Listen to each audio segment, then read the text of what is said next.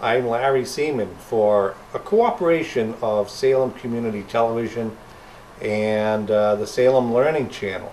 And to my right is a special guest today. As a matter of fact, we're a guest of theirs.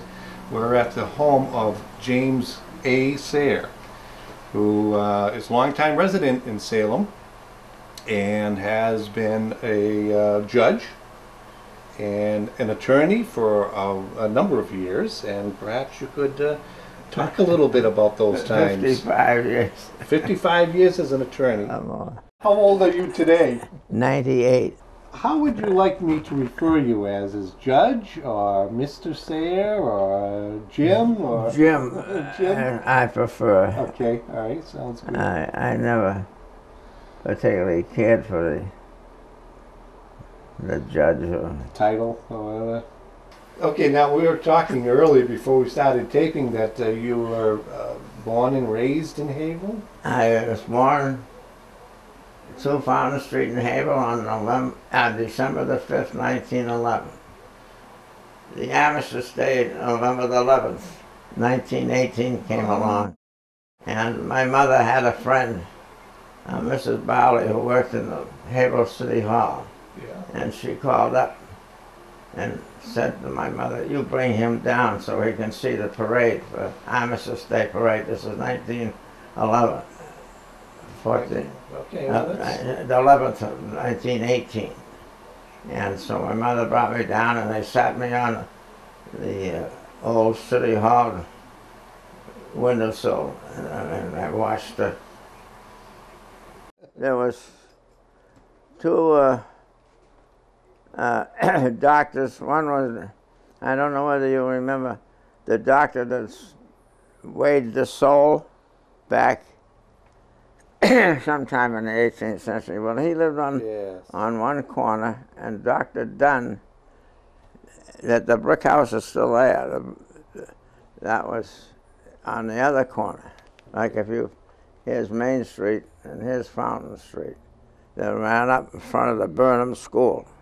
The first corner, it's gone now, was Dr. MacDougall Okay, in those days. And he's the one that tried to weigh the soul. nice. I remember when, as a kid, when Dr. MacDougall passed away, and we had a big, big funeral in those days. I went to the Burnham School in Haverhill, grammar school on Fountain Street for two years, and then transferred Cambridge sometime around uh, 1920, I believe it would be. And uh, I moved into Cambridge, and my father ran the, the Gordon Central Square Theater. It was a brand new theater at that time. We mentioned how you got to know uh, Louis B. Mayer, who of Well, course I- was a movie mogul. When I was born, Louis Mayer bought my mother a bassinet, opened a bank account for me, Wow. and I didn't know him, of course, very well. I was only about seven years old, but Yeah, yeah. My father worked for him. Louis Mayer had theaters in Haverhill. Because Louis was a Haverhill man, you know. Yeah. Went from Haverhill out to the West Coast. And uh, the year I met him was uh, Louis Mayer came to Haverhill to, uh, on some form of business. And he also wanted my father to go out to California and work for him. Hmm.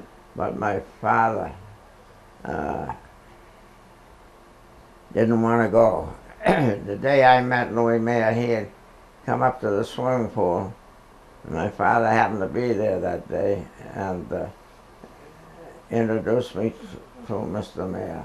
I had gone to Houston, Texas to work at the racetrack, as I had said I was working, and uh, my father, the morning that I, I was all packed and ready to come home, my father sent me a, a telegram. Said, go, go to the coast, Louis will give you a job. Hmm. And I didn't go, I came home. Uh, so you had your chance. But you did pretty good for yourself, still.